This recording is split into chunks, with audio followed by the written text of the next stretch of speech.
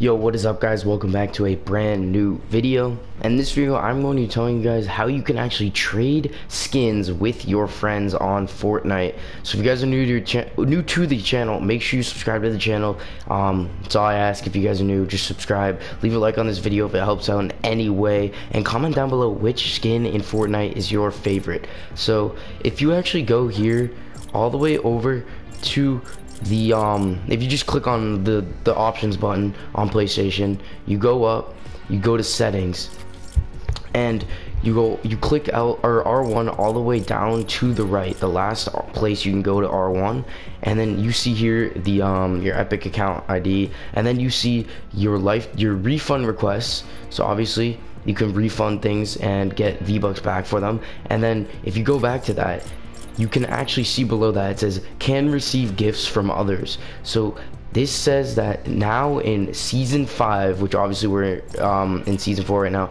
but in season 5 you will be able to trade or gift your friends skins in Fortnite Battle Royale which is really sick because if one of your friends has the Skull Trooper you might actually be able to get them uh, get the skin off of them so you can receive gifts from others now um, which is actually really sick uh, I'm not really sure.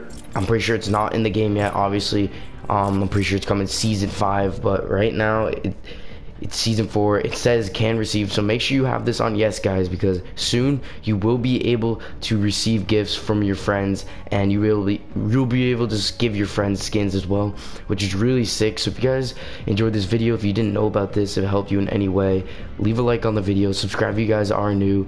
Um, drop a comment down below which skin is your favorite thank you guys for watching this video this is actually really sick I, I can't wait for this to be in like actual game. Thank you guys for watching this video and peace